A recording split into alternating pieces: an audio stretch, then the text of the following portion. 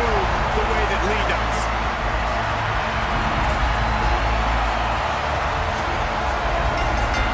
The following contest is scheduled for one fall. Making his way to the ring from Wichita Falls, Texas. Weighing in at 320 pounds. Limitless King have a question.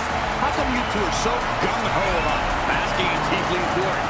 I can think of plenty of other superstars you would call cocky or self-absorbed or full of themselves for saying the same exact thing. But when you're a superstar who is both as large and as athletic as Keith, you can't help but expect others to bask in your glory.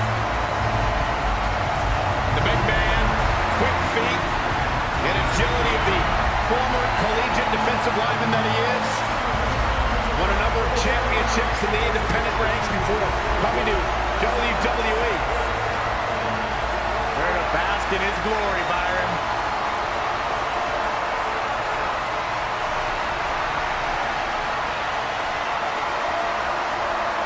Ooh, bullseye!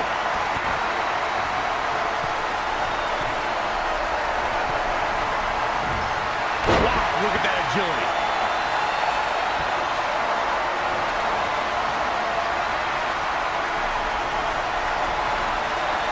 Keith Lee looking to finish this.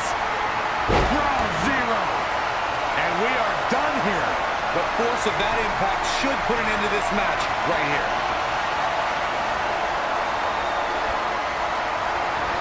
Round and around. Look at this velocity. Incredible impact. Caught him flush. Didn't finish things off the first time around, but can this be? This one's over.